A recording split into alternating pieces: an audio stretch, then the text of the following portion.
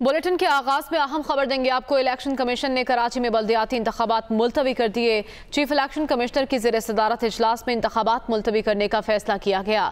सैलाबी सूरत हाल के बायस इलेक्शन मुलतवी करने का फैसला किया गया है। मौसमी सूरत हाल के पेश नज़र इस अहम फैसले से मुतल आपको आगाह कर रहे हैं। कराची में होने वाले इंतबात को मुलतवी कर दिया गया है। इसी बारे में मजीद तफसी जान लेते हैं। मोहसिन एजाज हमारे साथ मौजूद है। मोहसिन, आगाह कीजिएगा। फिल वक्त के लिए तो ये इंतबात मुलतवी कर दिए गए हैं। फर्दर को कोई डेट दी गई है इंतबात के लिए?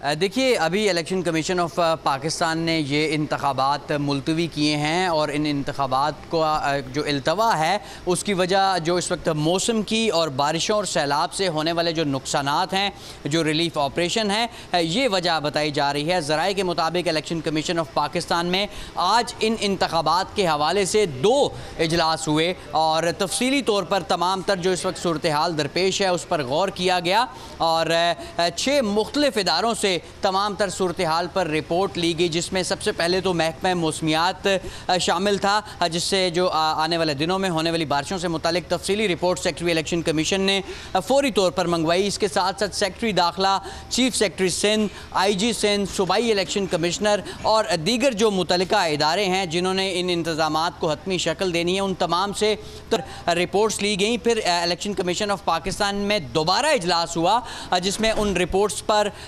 तफसीली फ़ैसला जो जायज़ा लेने के बाद फ़ैसला किया गया और ये कहा गया कि कराची डिवीज़न का जो इलेक्शन है, उसे भी अभी वक्ती तौर पर मुलतवी किया जाता है क्योंकि इस वक्त सूरत हाल ऐसी है कि इमदादी जो ऑपरेशन हैं, वो चल रहे हैं। ना सिर्फ़ इंतज़ामिया बल्कि कानून नाफिज करने वाले इदारों के एहलकार भी बड़ी तादाद में इस वक्त जो सैलाब मुतासरीन हैं या जो बारिशों से पैदा होने वाली सूरत हाल के मुतासरीन हैं, उनकी मदद के लिए दिन रात काम कर रहे हैं। तो ऐसे मौके पर जो इलेक्शन का इनका है, वो खासा मुश्किल हो जाएगा। इससे कबल गुज्त रोज़ हैदराबाद डिवीज़न के जो अजला थे, उनके इलेक्शन भी इसी वजह से मुलतवी कर दिए गए थे। आज कराची के जो अजला हैं, उनके इलेक्शन भी मुलतवी कर दिए गए हैं। जो इन इंतबात की नई डेट है, वो इलेक्शन कमीशन ऑफ़ पाकिस्तान बाद में जारी करेगा।